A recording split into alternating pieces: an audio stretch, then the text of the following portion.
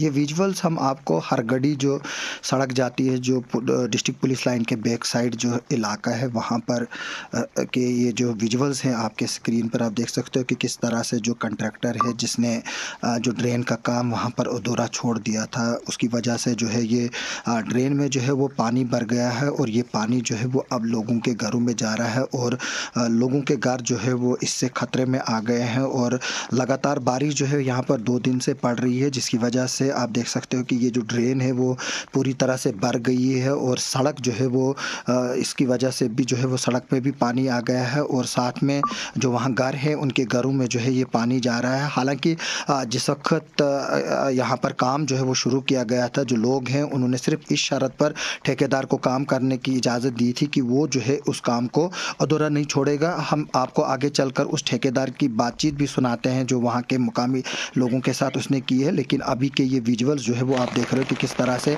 सड़क में जो है ये पानी जमा हुआ है और यहाँ से जो है वो अब ये पानी लोगों के घरों में जो है वो जा रहा है और जिसकी वजह से जो घर यहाँ पर निचली साइड से है, जो लो एरिया में है, उनको जो है वो अब ख़तरा जो है वो हो रहा है कि उनके मकान कहीं गिर ना जाए। इसलिए उन्होंने डिस्ट्रिक्ट एडमिनिस्ट्रेशन से जो है ये लोग अपील कर रहे हैं कि वो आकर इसको देखें और जो ठेकेदार है उसको जो यहाँ पर काम पेंडिंग है, उस काम को जो है वो ख़त्म कराए। आइए हम सुनाते हैं ठेकेदार ने उस वक्त क्या कहा था।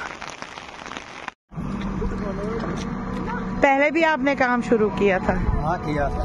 फिर वो अधूरा क्यों छोड़ा था? मतलब उस टाइम लेबर थी ना हमारे पास। आज तो लेबर से हो ही नहीं रहा था गांधी इसमें बड़ी थी। नहीं जो बचा है बिल्कुल साफ़ कराना है। साफ़ ही करना है।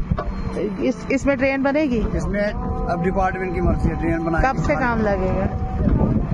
लगाइए काम तो लगाइए नहीं ऐसा नहीं हो पहले भी आधा करके छोड़ के चले गए थे ना।